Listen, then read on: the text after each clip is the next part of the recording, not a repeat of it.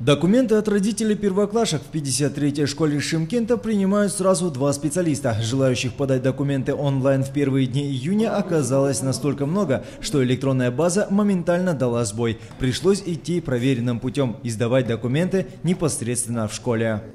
кей кездері өйстіп өшіп қалады базаны ке- ә, Это зависит не от нас. Как только заработает электронная база, сразу начнем принимать документы. істеп тұрған қазір тағы өшіп қалды От электронного нововведения пришлось отказаться и Малике Авдиевой. Подать документы, не выходя из дома, у женщины так и не получилось. Маме будущего первоклассника ничего не оставалось делать, как встать вместе с другими в длинную живую очередь. Аналогичная ситуация наблюдается и в школе номер 42. У меня дома есть интернет, скорость хорошая. Попыталась самостоятельно зарегистрироваться, а официальный сайт для регистрации не работает. Пыталась я неоднократно, ничего не выходит.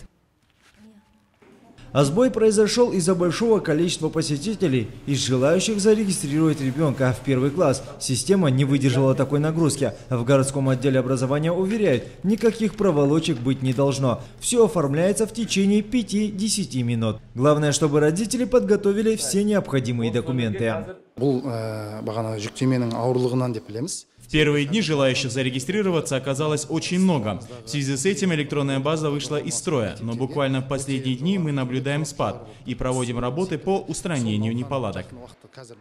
В этом году порог первого класса переступят порядка 121 тысячи шимкентских детей. Сегодня немногим более 2000 родителей смогли подать документы на зачисление в первый класс. Впереди еще два летних месяца. Родители надеются, что электронная система регистрации наконец заработает. Иначе о какой прозрачности, удобстве и искоренении взяток при поступлении в школу может идти речь. Бахром Абдуллаев, Талгат Абдинабиев, Камила Сайфулина, информационная служба телекомпании «Утрар».